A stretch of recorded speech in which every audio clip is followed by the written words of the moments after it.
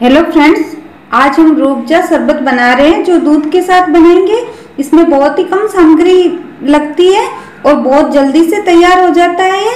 ऐसी रेसिपीज़ के लिए मेरे चैनल को सब्सक्राइब करें वीडियो को लाइक और शेयर करें। इसके लिए मैंने एक गिलास दूध लिया है। दो से तीन चम्मच हम रूबजा लेंगे। दो चम्मच मैंने ये पीसी चीनी ली है, बूरा चीनी। इसकी जगह आप साबुत चीनी भी ले सकते हैं। और पाँच से छह आइस क्यूब लिए। चलिए बनाते हैं। जार के अंदर मैं ये दूध डाल रही हूँ आइस क्यूब डाल रही हूँ इसमें बूरा चीनी, और ये दो चम्मच रूजा है, वो डाल रही हूँ मैं। इसका ढक्कन बंद करके इसको ब्लेंड कर लेते हैं। हमें इसे इतना ही ब्लेंड करना है कि इसके अंदर आइस क्यूब और शुगर मिक्स हो जाए। इसे मैं एक ग्लास में निकाल लेती हूँ और सर्व करती हूँ। मैंने ग्लास को गार्निश कर लिया है रूबजा से इसके अंदर मैं ये डाल रही हूँ शरबत।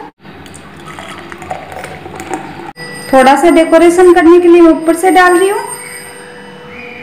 ये हमारा रूबजा का शरबत बिल्कुल तैयार है।